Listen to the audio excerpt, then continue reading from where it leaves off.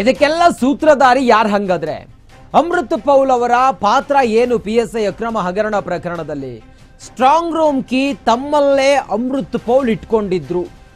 P S I ನೇಮಕಾತಿ ಅಕ್ರಮದ complete details Amrit Paul ಅವರಿಗೆ ಗೊತ್ತಿದೆ. ಅಕ್ರಮ ನಡೆದಿರೋ ಸೆಂಟರ್ಗಳನ್ನ ಸೆಲೆಕ್ಟ್ ಮಾಡಿದ್ದು ಕೂಡ ಇವರೇ ಅಂತೆ.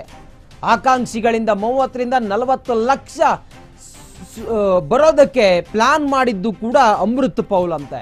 ಸ್ಟ್ರಾಂಗ್ ರೂಮ್ನಲ್ಲಿ ಒ ಎಂ ಆರ್ ಶೀಟ್ ತಿದ್ದಲು ಅವಕಾಶವನ್ನು ಕೊಟ್ಟಿದ್ರಂತೆ. ಕಲಬುರ್ಗಿ ಅಮೃತ್ ಪೌಲ್ ಕೈಯಲ್ಲೇ ಇತ್ತು.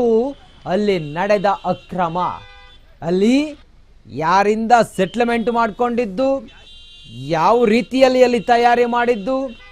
ಅದೇ ಒಂದು ಪರೀಕ್ಷಾ ಕೊಠಡಿಯಲ್ಲೇ ಬ್ಲೂಟೂತ್ ಮೂಲಕ ಆಗಿರ್ಬೋದು ಅಥವಾ ಇನ್ನೊಂದು ಒ ಎಂ ಆರ್ ಶೀಟ್ಗಳನ್ನು ತಿದ್ದುವಂಥದ್ದು ಇದೆಲ್ಲವೂ ಕೂಡ ಏನು ನಡೆದಿತ್ತು? ಪಿ ಎಸ್ ಐ ಅಕ್ರಮ ಹಗರಣ ಪ್ರಕರಣದಲ್ಲಿ, ಅಕ್ರಮ ಕೇಸ್ನಲ್ಲಿ ಪರೀಕ್ಷೆಯಲ್ಲಿ ಆಗಿರುವಂಥ ಅಕ್ರಮ, ಇದೆಲ್ಲದರ ಸ್ಟ್ರಾಂಗ್ ರೂಮ್ ಕೀ ಅಂದರೆ ಎಲ್ಲದರ ಮಾಸ್ಟರ್ ಮೈಂಡ್ ಅಮೃತ್ ಪೌಲ್ ಅನ್ನೋದು ಈಗ ತನಿಖೆಯ ವೇಳೆ ಒಂದೊಂದೇ ಸತ್ಯಾಂಶಗಳು ಹೊರಗಡೆ ಬರ್ತಾ ಇದೆ. ಸದ್ಯಕ್ಕೆ ಅಮೃತ್ ಪೌಲ್ ಅವರ ಮೇಲೆಯೂ ಕೂಡ ಅಧಿಕಾರಿಗಳಿದ್ದಾರೆ. ಅವ್- ಅವರು, ಅಧಿಕಾರಿಗಳು ಕೂಡ ಭಾಗಿಯಾಗಿದ್ದಾರೆ. ಅವರ ಹೆಸರನ್ನ ಈಗ ಅಮೃತ್ ಪೌಲ್ ಬಾಯ್ಬಿಟ್ಟಿದ್ದಾರೆ ಅನ್ನೋ ಸ್ಫೋಟಕ ವಿಚಾರ ಬಯಲಾಗಿದೆ.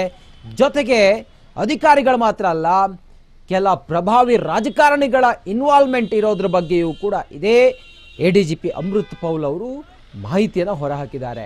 ಅದರ ಪ್ರಕಾರ ಈಗ ಈ ಹಿರಿಯ ರಾಜಕಾರಣಿಗಳಿಗೆ ಮತ್ತು ಈ ಐ ಪಿ ಎಸ್ ಅಧಿಕಾರಿಗಳಿಗೆ ನಡುಕ ಶುರುವಾಗಿದೆ. ಯಾವುದೇ ಸಂದರ್ಭದಲ್ಲಾದರೂ ಕೂಡ ಈ ಹಿರಿಯ ಅಧಿಕಾರಿಗಳು ಮತ್ತು ಪ್ರಭಾವಿ ರಾಜಕಾರಣಿಗಳಿಗೆ ಸಿ ಐ ಡಿ ಅಧಿಕಾರಿಗಳು ನೋಟಿಸ್ ಅನ್ನ ಕೊಟ್ಟು ವಿಚಾರಣೆಗೆ ಬನ್ನಿ ಅಂತೇಳಿ ಹೇಳುವ ಸಾಧ್ಯತೆ ಇದೆ. ವಿಚಾರಣೆಗೆ ಬಂದು ವಿಚಾರಣೆಯನ್ನು ಎದುರಿಸಿ, ಆ ನಂತರ ಇವರ ಒಂದು ಪಾತ್ರದ ಬಗ್ಗೆ, ಈ ಹಗರಣದಲ್ಲಿ ಇವರ ಪಾತ್ರದ ಬಗ್ಗೆ ತನಿಖೆ ಆದ ನಂತರ ಯಾರ್ಯಾರು, ಏನೇನು, ಯಾರ್ಯಾರ ಮುಖವಾಡ, ಹೇಗೆ ಅನ್ನೋದು ಎಲ್ಲವೂ ಕೂಡ ಬಯಲಾಗುತ್ತೆ. ಸದ್ಯಕ್ಕೆ ಅಮೃತ್ ಪೌಲ್ ಅವರನ್ನ ಸಿ ಐ ಡಿ ಅಧಿಕಾರಿ ಸಿ ಐ ಡಿ ಅಧಿಕಾರಿಗಳು ವಿಚಾರಣೆ ಮಾಡ್ತಾ ಇದ್ದಾರೆ.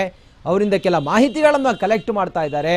ಅವರು ಹೇಳಿದಂತ ಸಾಕ್ಷಿಯ ಆಧಾರದ ಮೇಲೆ ಇನ್ನಿತರರಿಗೆ ನೋಟಿಸ್ ಕೊಡೋದಕ್ಕೆ ಸಿಐಡಿ ಅಧಿಕಾರಿಗಳು ಈಗ ರೆಡಿಯಾಗಿದ್ದಾರೆ. you